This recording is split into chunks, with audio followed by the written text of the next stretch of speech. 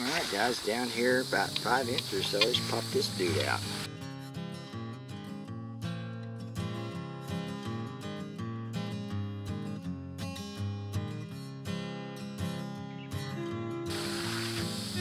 Buffalo with a hole in it. Nope. Got a hole in it. I think it's gonna have a date on it too. Looks like 1915. See it? But that's what it is. 1915 Buffalo. Woohoo! We'll take that any day. All right, all right. Yeah, second dig, 1915 Buff. That's an old one. That's a good one. All right, let's go on. All right, guys, I want to show you where we're hunting at today. Jeff and I are hunting this big unit right here. Huge yard. Bunch of big cedar trees. And uh, just awesome. Anyway, my first target here is this old buckle. Don't know how old it is. House built around 1900. We'll take that and go on though. I'm happy to have that. Pretty cool old buckle though. Let me get it in the shade and show you. Alright, so let's go on.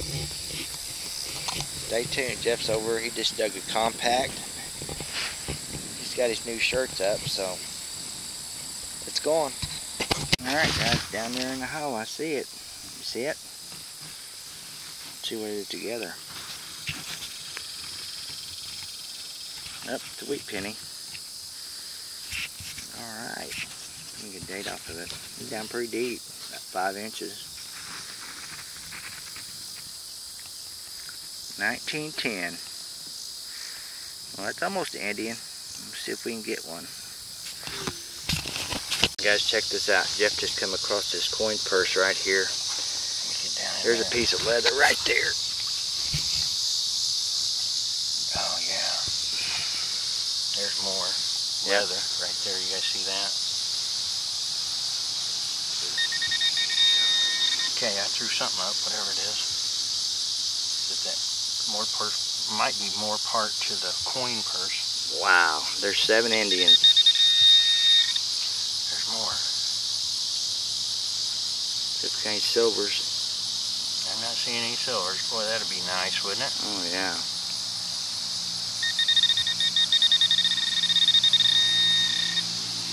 Something down in here. There's something right there. I seen it. Right there. Oh, there we go. Nope, that's Oh. just more leather. More leather. Hopefully I'm getting this on. Let me move my shovel out of the way.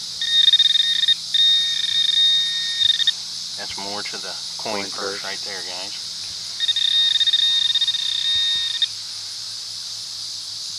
Maybe more. Oh yeah, yeah, right here. Wow.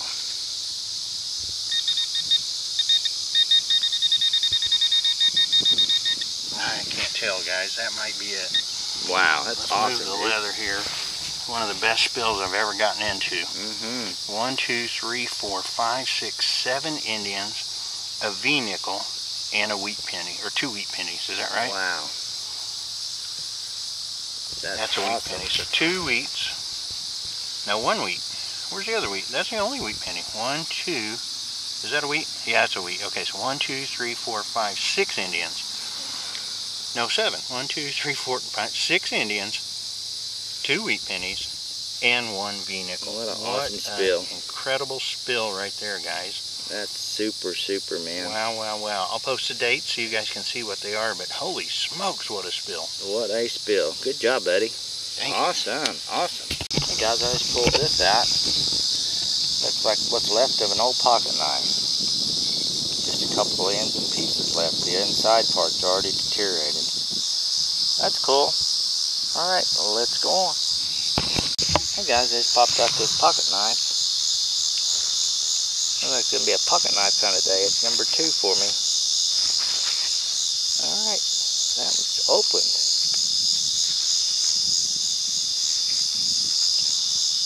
Let's see if we can get a good coin here. Let's go on.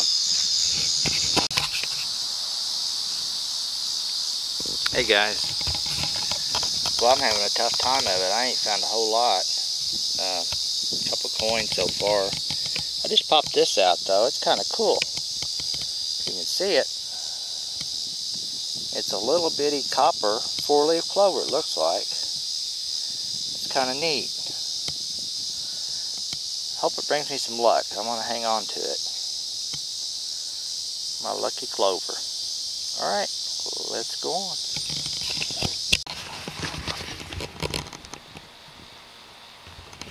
Hey guys, we're at a new spot now. And I just popped this out. 1940 wheat. We'll take it. I dinged it a little bit. Oh well. Good one. Let's go on. Hey guys, we're in a new spot now. Built 1905. Check it out. Just got started here. It's got one of the old 1940s fences over here. It's got a wrought iron fence in front. I have not found one of these in a long time. That's a Chinese coin. That is the oldest one today for sure. Probably from the 16, 1700s. Hard to date them though. They got a hole in them. You know what the hole was for? They didn't have pockets and they hung them around their neck. But that's an old Chinese coin there. That's a really good find. Alright, I'm happy with that. Mosquitoes are bad here, but let's go on. Hey guys, I got me a Princess Compact here. That's pretty cool.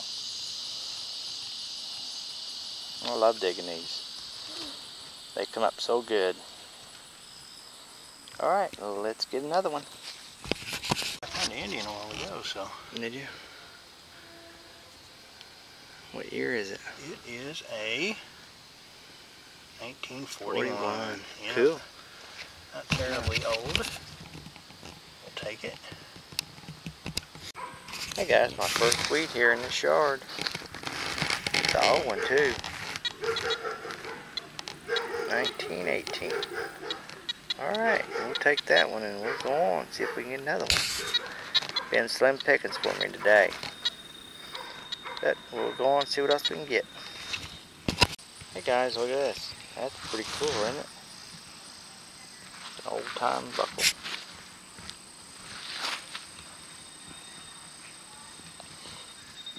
Pretty sweet. Alright, let's go on. Alright guys, I just popped this dude out. Looks like it might be an older weed.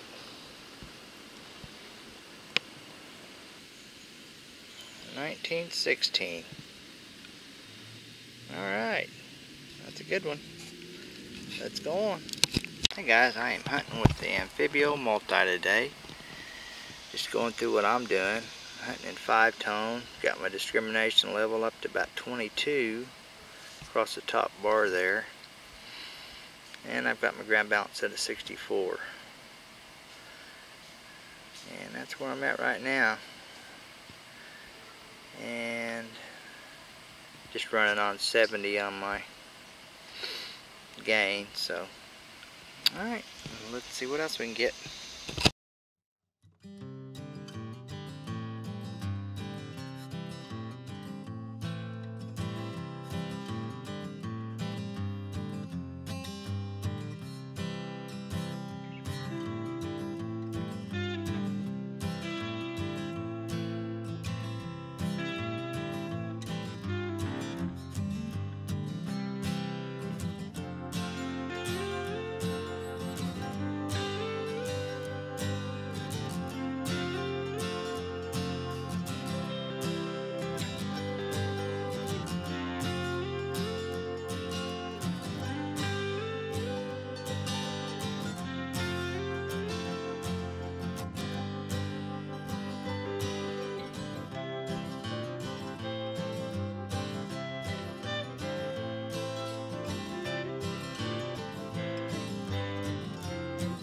Hey guys, Missouri Mike back again.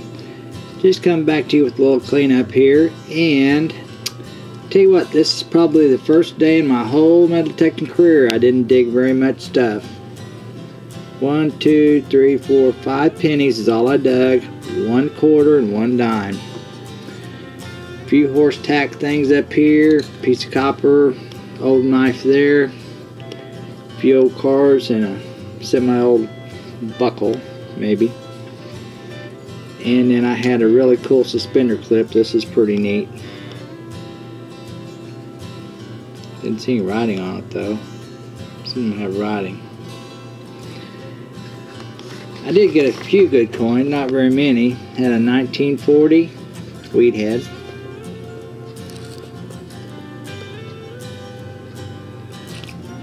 Nineteen sixteen S wheat.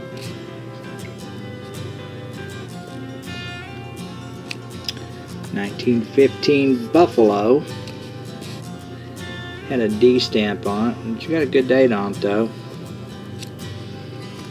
1918 D.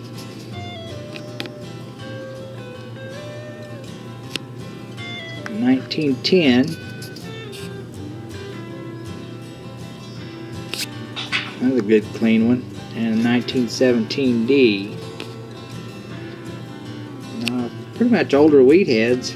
I did get a four-leaf clover, but it didn't bring me much luck today. But I had a good day, had a good time. Anyway, I appreciate you coming along. Till next time, this is Mike, and I'm out.